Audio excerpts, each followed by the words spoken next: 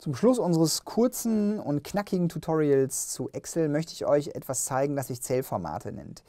Zellformate sind eigentlich etwas sehr Schönes, aber Excel kann dabei auch ziemlich nerven.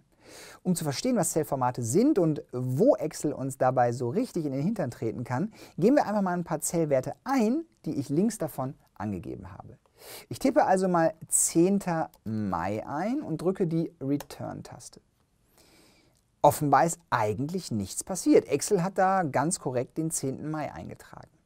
Wenn ich aber diese Zelle mal wieder aktiviere und da schaue, was hier oben in der Formel tatsächlich drin steht, dann sehe ich, da steht der 10.05.2015 drin.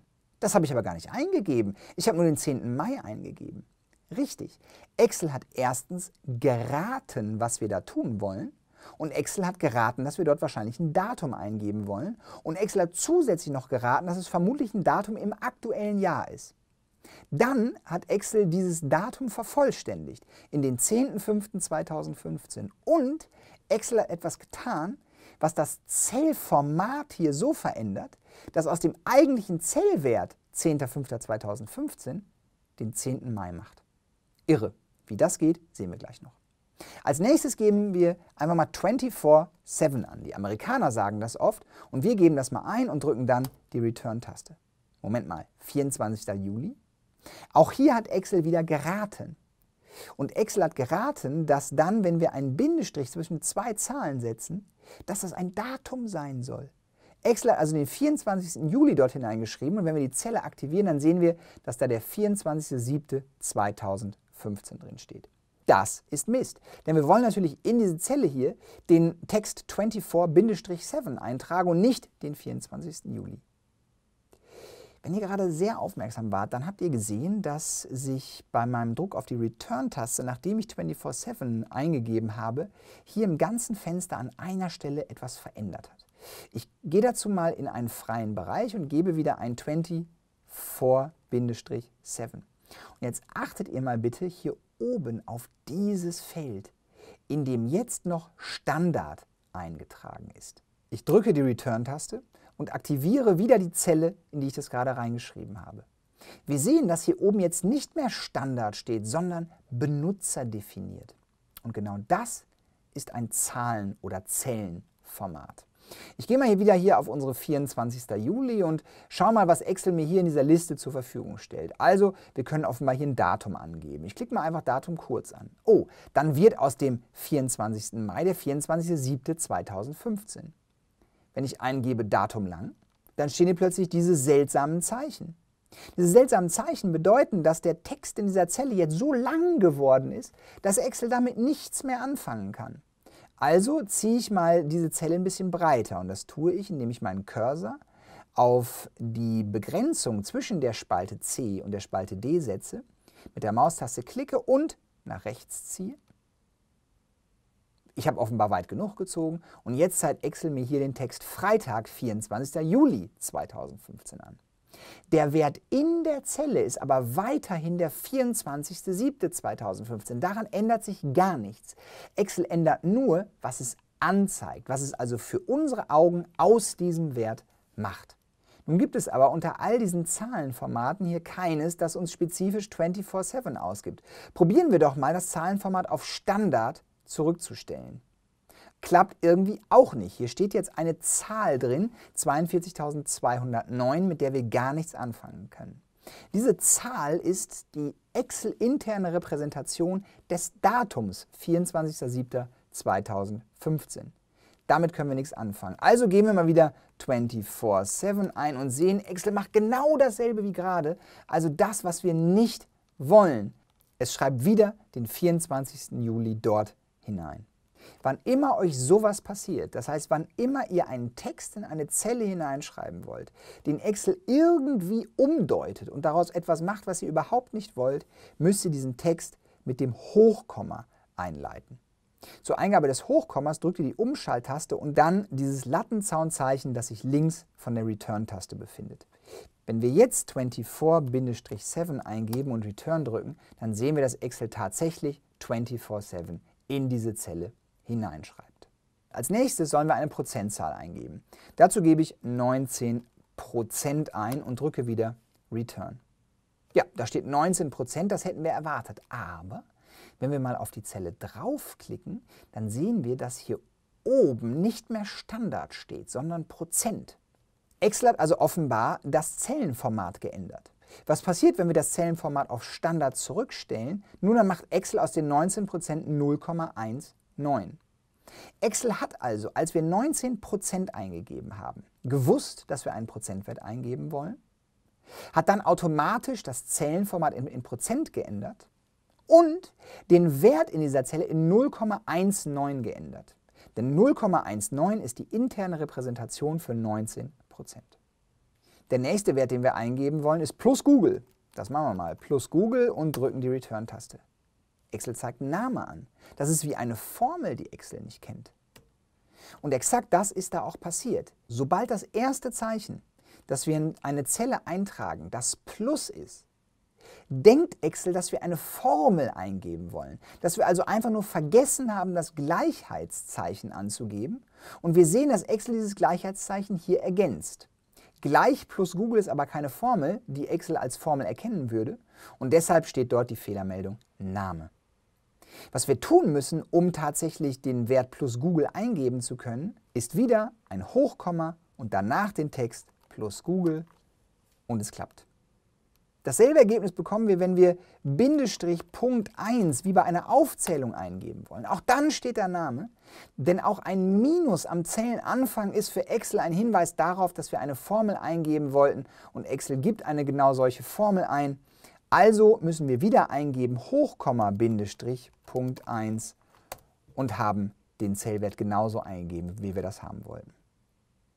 Als nächstes sollen wir die Zahl 24,1250, also eine Zahl mit vier Nachkommastellen, angeben.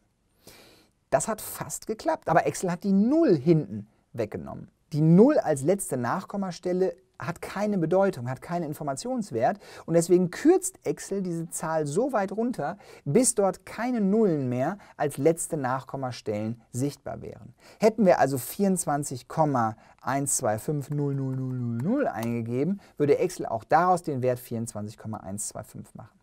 Wollen wir die Nullen hinten sehen, müssen wir unser Zellformat ändern und zwar in den Punkt Zahlenformat dann zeigt Excel immer eine bestimmte Zahl von Nachkommastellen an. Und diese Zahl von Nachkommastellen können wir über diese beiden Buttons hier verändern. Ich drücke mal den linken Button und wir sehen, die Nachkommastellen werden mehr. Ich drücke den rechten Button und die Nachkommastellen werden weniger.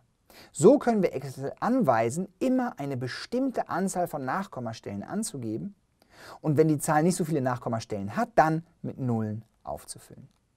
Als nächstes möchte ich mal wieder ein Datum eingeben, und zwar den 10.05. Scheint geklappt zu haben, aber tatsächlich scheint das nur so. Denn anders als beim 10. Mai erkennt Excel den 10.05. nicht als Datum. Und das sehen wir, wenn wir die Zelle wieder anklicken und versuchen, hier oben ein Datumsformat einzustellen, wie zum Beispiel Datum lang. Ihr wisst noch, dass das Zahlenformat Datum lang vorhin dazu geführt hat, dass dort der 24. Juli 2015 ausgeschrieben gestanden hat. Das ist jetzt nicht mehr so. Und das ist ein Riesenproblem, denn Excel hat den Zellwert 10.05. nicht als Datum erkannt. Um daraus ein Datum zu machen, müssen wir die Jahreszahl hinten ergänzen und dann erkennt Excel diesen Wert als Zahl. 14 Euro können wir ebenfalls eingeben. Ich, ich, gebe 14 Euro ein und Excel stellt exakt diesen Wert dar. Allerdings, wenn wir uns die Zelle anklicken, dann sehen wir, dass dort oben Währung steht. Excel hat also das Zellenformat Währung eingestellt und die Währung können wir tatsächlich genau wie die Zahl vorhin um Nachkommastellen erweitern oder auch reduzieren ohne dass wir diese Nachkommastellen tatsächlich eingeben müssten. Wir haben gerade nur 14 eingegeben und können Excel trotzdem anweisen, daraus eine 14,00 Euro zu machen. Und zum Spaß gehen wir einfach mal den Text 14 Euro an und schauen jetzt mal, was passiert. Wir können nämlich mit einigen dieser Zahlen hier tatsächlich Berechnungen durchführen. Versuchen wir das mal mit dem 10. Mai. Ich sage gleich 10. Mai plus 5. Dann steht da plötzlich der 15. Mai.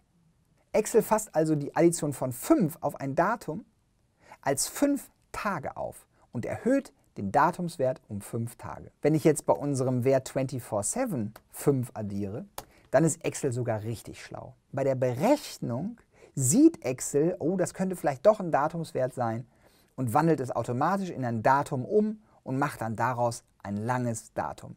Da laufen also ziemlich viele Automatismen ab. Als nächstes multipliziere ich mal den Wert 0,19 mit 500. Das Ergebnis ist 95. Und das ist auch richtig. 500 mal 0,19 sind 95. Wenn wir daraus einen Prozentwert machen, dann ändert sich daran immer noch nichts. Denn Excel weiß über das Zellenformat Prozent, dass wir in Prozent rechnen wollen. Ob da also 19% oder 0,19 stehen, ist vollkommen egal.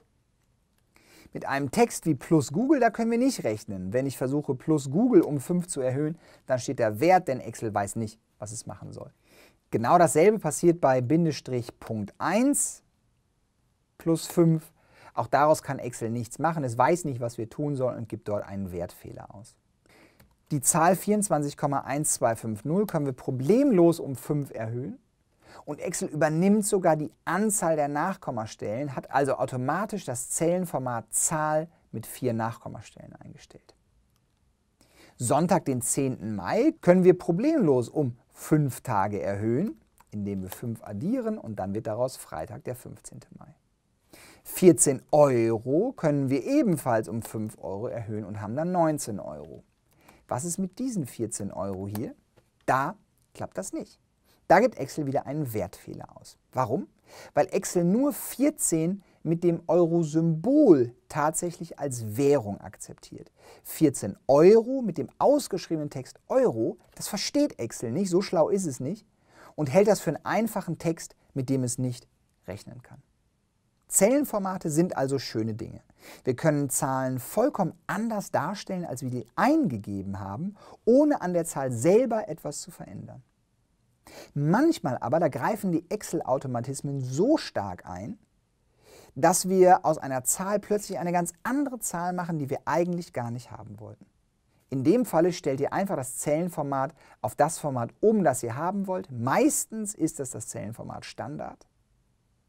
Und wenn das dann immer noch nicht klappt, dann benutzt ihr das Hochkomma um Text einzugeben und Excel damit anzuweisen, bitte interpretiere diesen Wert auf keinen Fall, schreibt ihn einfach genauso in die Zelle rein.